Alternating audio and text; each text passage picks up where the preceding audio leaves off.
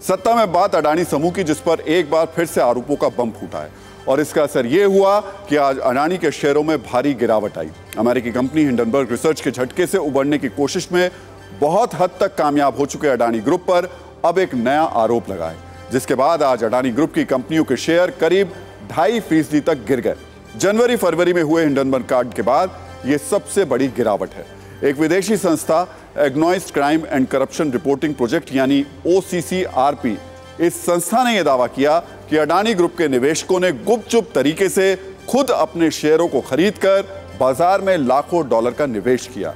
ये सेबी के नियमों के खिलाफ है। ओसीसीआरपी ने अपनी रिपोर्ट में तीन बड़ी बातें कही। पहली बात, अडानी ग्रुप फैमिली पार्टनर्स ने अपने ही ग्रुप के शेयरों को खरीदने के लिए करोड़ों रुपए निवेश किए। दूसरी बात निवेश मॉरिशस में ऐसे फंड के ज़रिए किए गए, जिसके बारे में कोई खास जानकारी नहीं है। तीसरी बात, अडानी ग्रुप की कंपनियों ने साल 2013 से 2018 तक गुपचुप तरीके से अपने ही शेयरों को खरीदा था। इसके अलावा ओसीसीआरपी ने एक रिपोर्ट में दो करीबियों का ज़िक्र भी किया है। कई टैक्स हेवन देशों की फाइलों और अडानी ग्रुप के आंतरिक ईमेल का हवाला देते हुए ओसीसीआरपी ने अपने आरोप लगाए कि उसकी जाँच में कम से कम दो मामले सामने आए हैं।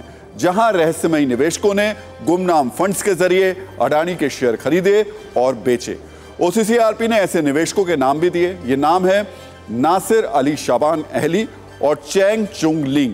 रिपोर्ट में दावा किया गया कि अडानी परिवार के साथ निवेशक नासिर अहली और चैंग चुंग लिंग के लंबे समय से व्यापारिक रिश्ते हैं। गौतम अडानी के बड़े भाई विनोद अडानी के ग्रुप की कंपनियों में ये लोग डायरेक्टर और शेयर होल्डर भी रह चुके हैं। इन आरोपों से सियासी और कॉरपोरेट पारा हाई हो गया है। शेयर बाज़ार में झटके लगने शुरू हो गए हैं और राजनीतिक बयान बम की तरह बरसने लगे विदेशी संस्था ओसीसीआरपी के इन आरोपों पर अडानी ग्रुप ने सफ़ाई दी, लेकिन यह सफ़ाई शेयरों में गिरावट को रोक नहीं पाई। अडानी ग्रुप ने ओसीसीआरपी के आरोपों पर जो बयान जारी किया, उसमें कहा गया है कि हम इन रिसाइकिल्ड आरोपों को खारिज करते हैं। यह न्यूज़ रिपोर्ट हिंडनबर्ग रिपोर्ट को फिर से हवा देने के लिए सोरोस द्वारा घोषित, पोषित विदेशी मीडिया के एक वर्ग की ओर से जानबूझकर प्रकाशित की गई है। ओसीसीआरपी ने जो आरोप लगाए हैं, वो एक दशक पुराने मामले से जुड़े हैं, जो मार्च 2023 में बंद हो चुका है। तब सुप्रीम कोर्ट ने इस मामले में हमारे पक्ष में फैसला सुनाया था। ऐसी कोशिशों का मकसद हमारी कंपनियों के शेयरों को गिराकर मुनाफा कमाना है। सुप्रीम कोर्ट और मार्केट रेगुलेटर से भी इन मामलों की जाँच कर रहे हैं, इसलिए प्रक्रिया का सम्मान करना ज़रूरी है।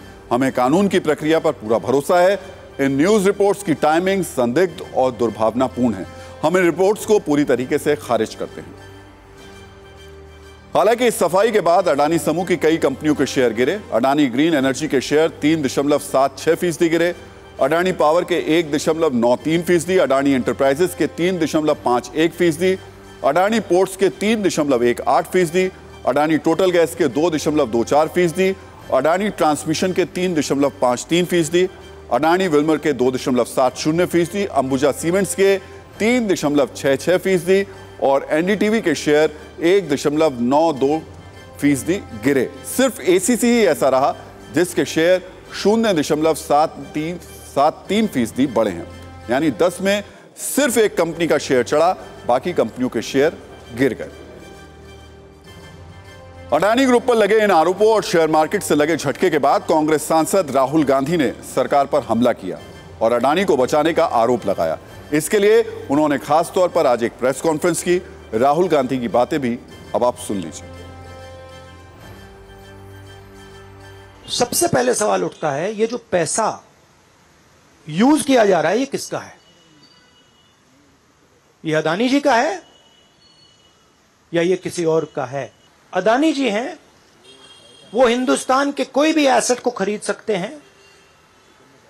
चाहे वो धारावी हो, मुंबई एयरपोर्ट हो सीमेंट कंपनी हो डिफेंस कंपनी हो, ये कह रहे हैं कि इनके पास डॉक्यूमेंट्स हैं, इनके पास ईमेल्स हैं वन बिलियन डॉलर्स यहाँ से गया है, और वापस आया है, उसके माध्यम से शेयर प्राइस बढ़ाई गई है। सिर्फ़ एक व्यक्ति को प्रधानमंत्री इस प्रकार से क्यों प्रोटेक्ट कर रहे हैं? और एक व्यक्ति हिंदुस्तान के सब एसेट खरीद रहा है और क्लियरली उस व्यक्ति ने कुछ गलत तो किया है। And prime minister should come clean prime minister should say yes I announce JPC I announce an investigation into mister Adani.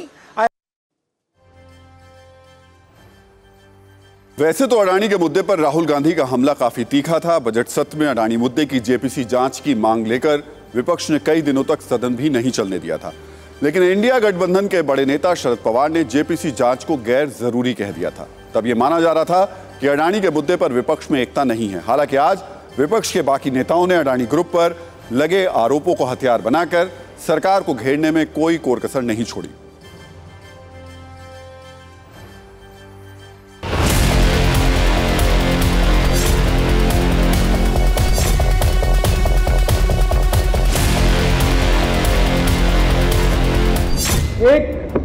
प्रधानमंत्री के चहीते दोस्त, प्रधानमंत्री के पसंदीदा उद्योगपति, पूंजीपति ने शेल कंपनियों का इस्तेमाल किया है। सेबी के सारे नियमों का उल्लंघन हुआ है।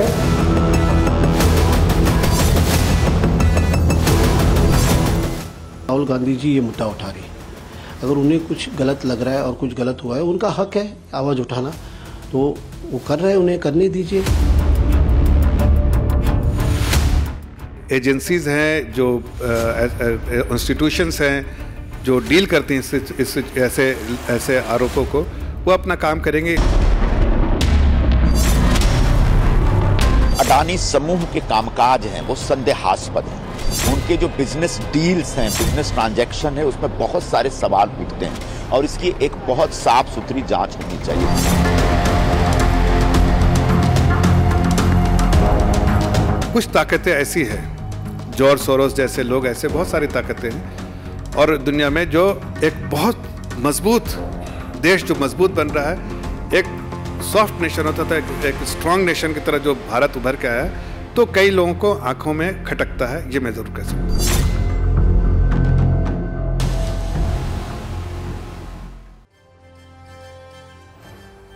कल के ओसीसीआरपी के आरोपों को मिला दें तो अडानी ग्रुप पर इस साल दो बार बड़े आरोप लग चुके हैं। पहला, इसी साल 24 जनवरी को अमेरिकी कंपनी हिंडनबर्ग रिसर्च ने लगाया था और अब 30 अगस्त को ओसीसीआरपी ने लगाया है। अमेरिकी कंपनी हिंडनबर्ग रिसर्च ने तो अडानी ग्रुप को लेकर एक डिटेल रिपोर्ट पब्लिश की थी। उस रिपोर्ट में दावा किया गया था कि अडानी ग्रुप की कंपनियों ने अपने शेयरों के ज़्यादा दाम दिखाए, मनी लॉन्ड्रिंग और अकाउंटिंग फ्रॉड किया, शेयर की कीमत पिचासी फ़ीसदी ज़्यादा दिखाई। अडानी ग्रुप पर हैसियत से ज़्यादा कर्ज है शेल कंपनियों के ज़रिए निवेश कराए। इन आरोपों के बाद सुप्रीम कोर्ट की निगरानी में सेबी की जाँच शुरू हुई। सेबी अडानी ग्रुप से 24 मामलों की जाँच कर रही है। कोर्ट ने 14 अगस्त तक सेबी से जाँच रिपोर्ट पेश करने के लिए कहा था। सेबी ने 15 दिनों की और मोहलत मांगी थी। 29 अगस्त को सुनवाई रद्द हो गई। अभी सुनवाई की अगली तारीख तय नहीं है। उससे पहले कल ओसीसी आरपी ने एक और आरोप लगा दिया। वैसे अडानी ग्रुप पर आरोप लगाने वाली संस्था organise crime and corruption reporting project यानी ओसीसीआरपी खुद को खोजी पत्रकारों का एक ग्लोबल नेटवर्क बताता है। ओसीसीआरपी की स्थापना साल 2006 में हुई थी। ओसीसीआरपी का गठन एशिया, यूरोप, अफ्रीका और लैटिन अमेरिका में फैले 24 गैर लाभकारी जाँच केंद्रों ने किया है। अमेरिकी अरबपति इन्वेस्टर जॉर्ज सोरोस और रॉक फेलर ब्रदर्स ओसीसीआरपी को फंड करते हैं। 2009 से ओसीसीआरपी की रिपोर्ट्स के कारण तीन आधिकारिक जांचें हुई। 621 लोगों की गिरफ्तारियाँ हुई 131 इस्तीफे हुए और 10 अरब डॉलर यानी बयासी हज़ार सात सौ करोड़ रुपए से ज़्यादा के जुर्माने हुए या फिर पैसा जब्त हुआ। जॉर्ज सोरोस को मोदी सरकार का कट्टर विरोधी माना जाता है। वो समय समय पर मोदी सरकार की आलोचना करते रहते हैं। ऐसे में उनकी फंडिंग से चलने वाली संस्था की रिपोर्ट पर कई लोग सवाल भी उठा रहे हैं। इस तरीके की बातें भी कही जा रही हैं कि भारतीय बाज़ार को अस्थिर करने के मकसद से जॉर्ज सोरोस द्वारा फंडेड संस्था ऐसी रिपोर्ट जारी कर रही हैं। वो भी तब जब पहले से ही सुप्रीम कोर्ट की निगरानी में इस पूरे मामले की गहन जाँच चल रही है।